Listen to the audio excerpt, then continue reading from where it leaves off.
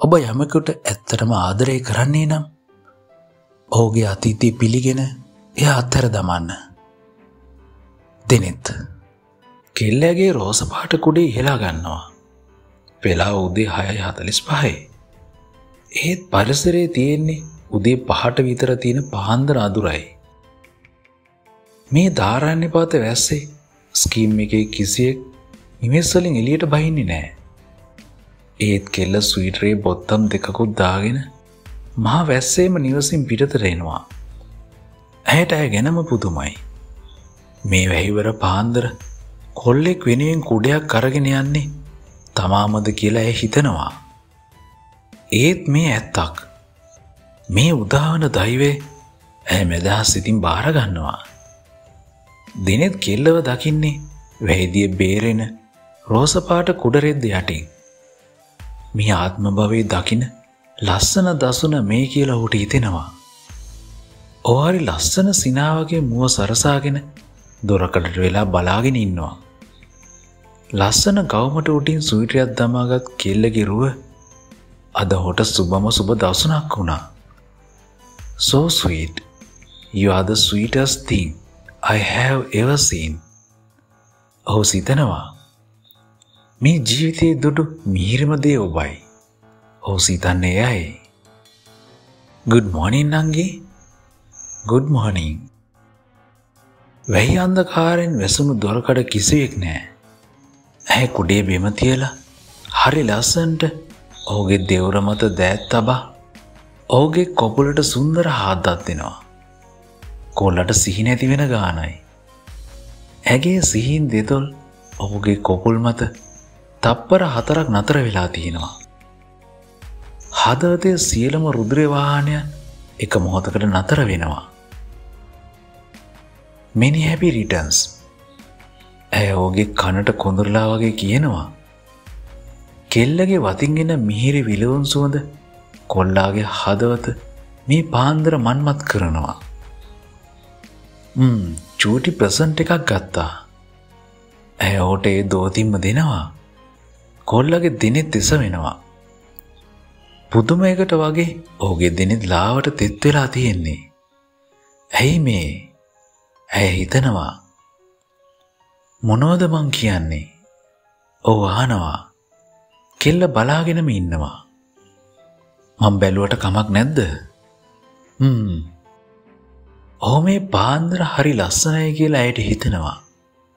පිරිමි ළමෙක්ට ලස්සනත් මේ චාම්බාවමයි ඒත් එක ගොඩක් කොල්ලො දන්නේ නෑ ඔහ ඇඳගෙන උන්නේ තද නිල් ඩෙනිම් කලිසමට සුදු වීනෙක් යුදු ටීෂට් එකක් එහි මැද ගුඩ් මෝනිල් ලන්ඩන් කියා ලියා තිබෙනවා. දෙනෙත් හරි පරිස්සමෙන් ඇයි විවර කරනවා. කොල්ල අතර ගන්නේ ඇලියූ පුංචි නෝට් එකයි. බර්ධ්‍යවිශ්‍ය එකයි. ඔහුගේ දෙනෙත් වේගෙන් ඒ ලස්සන සිංහල අකුරු දෙගේ ඇදීගෙන යනවා. ඇස්පිහටු තෙත්වෙනවාද කියලා තෝට හිතෙනවා. පව් ඔහු තොල්පට මොමුණනවා ඇය බලාගෙනම ඉන්නවා. ඇස්වල්ට ඉදිකටු තුඩා කැනින්නාක් වගේ. ඒත් මොනවා කරන්නද. දෙනෙත් ඇයදු නොර්ලෝසුව හරි අස්සන්ට අතර ගන්නවා. ඊටත් පසු ඒදෙස බලාගෙන ඉන්නවා. උඩු තොල දසන් අතරට තියාගෙන ඔහු ඉන්නේ යම් දෙයක් දරාගන්නට බැරුවයි. ඊටත් වඩ ඇස් උස්වා ගන්නට බැරුවයි. දෙනෙත් අයේ කෙල්ල මෘදුව කතා කරනවා. ලස්සනද? මට මේ තෑග්ග කොටාක් වටිනවා. මං මැරණ වෙලාවෙත් මේ ඔච්චක මගේ අතේ තියේ ඔහු කිවි හරි පුදුමාකාර විදියටයි. කෙල්ලකි දෑස් තෙත්තෙනවා ඇයි මැරෙන කතා කියන්නේ? මට හරියට වටිනවා. පොඩි දෙයක් කරන්න බෑ බබා. ඕ හරි ආදරෙන් අහන්නේ. කෙල්ලගේ පපුුව දාදොලොස් කඩකට වෙන්න යනවා. කියන්න. මේක මට දානවද? ඇයටත් ඒකට ආසයි.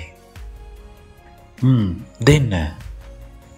කෙල්ල ඕගේ වතට ගොඩක් ලං වෙලා ඒ ඕගේ වමතේ පලඳනවා. ඒක ඔයාට මෙච්චර ලස්සන වෙයි කියලා මමත් හිතුවේ නෑ. ඇයට හිතෙනවා. ඒ අත සිපගන්න තරම් ඇයට හිතෙනවා. හරි ලස්සනයි. මන්ද තේරේ කියලා හිතෙනවා. ඔහු එදෙස බලාගෙනම ඉන්නවා. පසුව කැවෙන දෑසින් ඇය දෙස බලනවා. මං මේක අද දාගෙනම ඉන්නවා. ඒත් අදින් පස්සේ දාන්නේ නෑ. අනේ ඇයිඒ ඇය උගරෙන් වගේ අහනවා. ආය දාන්නේ මගේ වෙඩින් එක දවසට. මේක වෙඩින් කිට්ටකට ලස්සනට යයි. ඕ කියනවා කෙල්ලගේ පපුුව කකියනවා. අනේ දෙයනේ ඔයා කාවද මැරි කරන්නේ. කාවද මැරි කරන්නේ. ඇය අමාරුවෙන් අහනවා.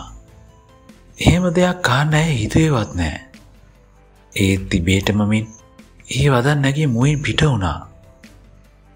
දෙනෙත් හරි ලස්සන්ට ඕගේ දෙනෙත් ඔසවා කෙල්ල දෙස බලනවා. දැන්මම මම එක කියන්න ඕනද නැත්නම් මම ටිකක් වෙලාරගෙන කියන්නද කොල්ල එක ලස්සන්ට අහනවා ඇගේ මුවනපුරා හරි ලස්සන හිනාවා පැතිරෙනවා. කමක් නෑ. වෙලා අරගෙන කියන්නකෝ. කවුදේ වාසනාවන්ත කෙල්ල කියලා? ඇයත් නැලවෙනවා. මේ පාන්දර මේ නැලවෙල්ල හරි ලස්සනයි. දෙනෙට එහෙම හිතෙන්නේ. එන්න. අම්ම කිරිබත් හදාගෙන බලාගෙන ඉන්නව නංගේනකල් ඔහු කෙල්ලව ඇතුළටම එක්කාගෙන යනවා. මේ සීතරේ නෑවා කියන එක්කෙනත් නාලානේ ඇයි අන්තමට වගේ ඔහුගේ තිත කොන්්ඩේ අල්ලනවා. මට කියනවද මේන සුවඳ මොකක්ද කියලා. දෙනෙ තානවා. ඇයි හිනා වෙනවා. ඒක විශේෂ පර්ෆියුම් එකක් කියලා ඔයාට තේල්ලා. මේ එහෙන් ගෙනාව පර්ෆියුම් එකක්. ලංකාව එකක් නෙමේ. මට හිතුනා හරිම සුවඳයි. මල්ලොත්තක් ඇවිදගෙන එනවාගේ. ඔහුට තියෙන්නේ හරි ලස්සන උපමාල් කියලා ඇයට හිතෙනවා. එහෙන යාලුවනි තව තවත් මේ වගේ ලස්සන කතා අරගෙන එන්න. මට කරන්න උදව්වක් විදියට මේ වීඩිය එක පුළුවන්තරංශයා කරන්න. ඔයාලගේ අදස් කියලා කමෙන්ට් එකකුත් පහලින් දාන්න. ලයිකි ගන්න අනිවාරෙන් දාන්න. අන්ති වෙනකම් බලපු ඔයාල හැමෝටම ස්තුතියි.